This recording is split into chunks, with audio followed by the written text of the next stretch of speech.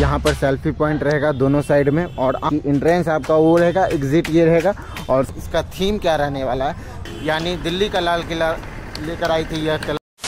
तो दोस्तों फिर से न्यू वीडियो में आप सभी का स्वागत है। कैसे आप लोग? आई होप आप सब अच्छे होंगे शानदार होंगे और मज़े में होंगे। सो so, दोस्तों एक नए से पंडाल को लेकर फिर आपका भाई आपके साथ हाजिर हो चुका है। तो चलिए इसके बारे में हम थोड़ी सी डिटेल से बात कर लेते हैं। अभी हम लोग पहुँच चुके हैं पटेल चौक पे और पंडाल है दौलत राम चौक है क्योंकि भाई इसका जो जगह था, उस कारण से नहीं। जहाँ पर पिछले साल बना था, उस जगह पर अभी हम लोग आ चुके हैं पटेल चौक के पास। और आपको बताने वाले हैं इसका थीम क्या रहने वाला है, क्या कुछ रहने वाला है, सारा कुछ बताएँगे डिटेल से। चलिए स्टार्ट करते हैं इस वीडियो को। सामने में इंस्टाग्राम की आईडी मेंशन हो रही है, ज़रूर फॉलो कर लीजिएगा।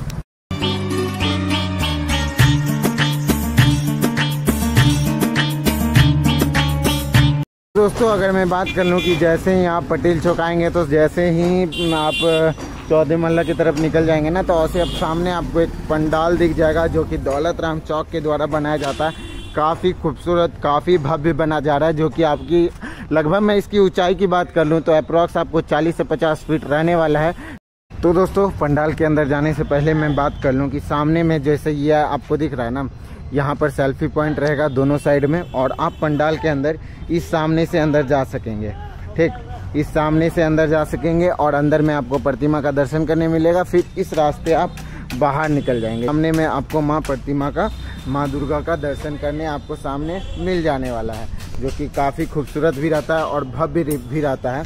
तो अभी अगर हम बातें करने वाले हैं, इसका थीम क्या रहने वाला है तो यह आदिवासी थीम बनने वाला है, जो कि लंगरा बगान साउथ ईस्ट पारा में भी बन रहा है वहाँ पर आदिवासी पंडाल। तो यहाँ पर भी इस बार आदिवासी का थीम लेकर आया। अगर मैं पिछली बार की बात करूँ तो भाईली का लाल किला लेकर आई थी यह क्लब। और इस बार आपको आदिवासी थीम देखने को मिलने वाला है। और अगर मैं इसकी बात कर लूँ तो आप पंडाल देख लीजिए का, कितना काफ़ी खूबसूरत लग रहा है। और इसमें ना बाँस बीट तरह तरह डिज़ाइन के कपड़े भी इस्तेमाल किए जाएँगे। और सभी में आप जो देख रहे हैं इस सभी में आपको एक मैं बात करूँ कि आदिवासी का जो पुतला सब होता है ना वो सभी आपको डेकोरेट किया। खर्च की मैं बात कर लूँ कि कमेटी मेंबर से मैं भी बातें कर लिया था।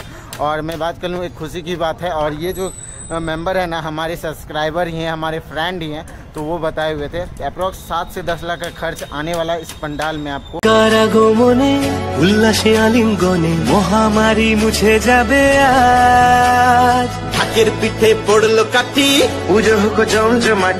दोस्तों इस इस दुर्गा पूजा को और भी बेहतर बनाने के लिए आप लोग के सामने आ चुका है डांडिया सेवन एडिशन शो। तो आपको अगर मैं बात कर लूँ कि दिन 12 अक्टूबर को डांडिया नाइट शो होने जा रहा है, जो कि चंद्रकला गार्डन में होगा, और इसकी पासेज जो है ना, बहुत लिमिटेड पास है। अगर आप अभी बुक नहीं किए हैं तो स्क्रीन पर नंबर शो हो रही हो। वहाँ जाके जल्दी से अपना पासेज बुक कीजिए। आप अपना मनोरंजन नहीं कर पाएँगे। इस कारण से जाइए, जल्दी से पासेज बुक कीजिए। तो दोस्तों अगर मैं बात कर लूँ कि इसी तरह के बीट से इस्तेमाल किया जा रहा है देख सकते हैं भैया लोग ऊपर में है लगाया जा रहा है। अगर मैं, मैं कारीगर की बात करूँ जो पंडाल मेकर जो है वो है वो दो जगह से आए हुए हैं। अगर मैं बात कर लूँ कि मालदा से भी आए हुए हैं कोलकाता से भी आए हुए हैं यानी दो जगह का कारीगर आपको इस पंडाल में काम करते हुए दिख जाएँगे।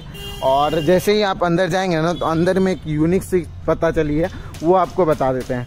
सबसे पहले माँ वहाँ दुर्गा विराजमान होगी और उसके चारों तरफ़ मतलब जूट से परशुराम, शिव जी का सभी में मतलब उस साइड भी और इस साइड भी आपको फ्रेमिंग किया हुआ तांडव वाला लुक मिल जाएगा, जो कि आपको सेल्फी में चार चाँद लगा देने वाला है। ठीक ना, भाई साहब, काम हो रहा है, आपको पता चल रहा होगा।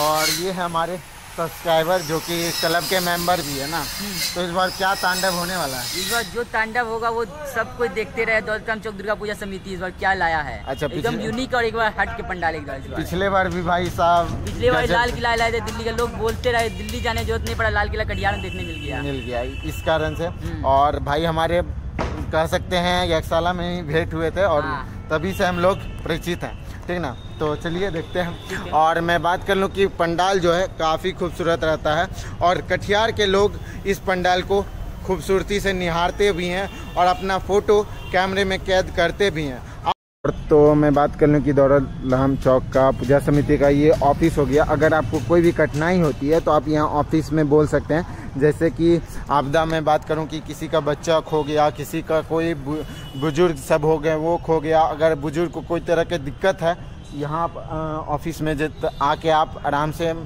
बैठ सकते हैं, विश्राम कर सकते हैं, क्योंकि भाई साहब पंडाल देखते देखते बहुत से लोग थक भी जाते हैं तो ऑफ़िस बनाया गया है, आपकी सेवा में है ये लोग। तो दोस्तों, अगर मैं बात कर लूँ कि यह पंडाल आपको पूरी अच्छे तरीके से दिखा दिए, क्या बन रहा है, क्या हो रहा है सारा कुछ बता दिए तो चलिए इस वीडियो को यहीं रखते हैं। मिलते हैं आपसे किसी नेक्स्ट पंडाल पे, दूसरे पंडाल पे। तब तक के लिए वेट कीजिएगा। हाँ आप लोग का इस तरह प्यार देख करके ना, मेरा दिल भाई गार्डन गार्डन हो गया। क्योंकि आप लोग का भाई भर भर के कमेंट आ रहा है कि संग्राम संघ सन ऑफ़ इंडिया उस सभी का वीडियो शूट हो चुका है। इसके बाद आप लोग को देखने को मिलेगा। इतना बेसब्री, और थोड़ा सा बेसब्री कर लीजिए। तब तक के लिए इस वीडियो को लाइक कीजिएगा। ज़्यादा से ज़्यादा शेयर कीजिएगा। मिलते हैं नेक्स्ट वीडियो में। तब तक के लिए bye bye love you all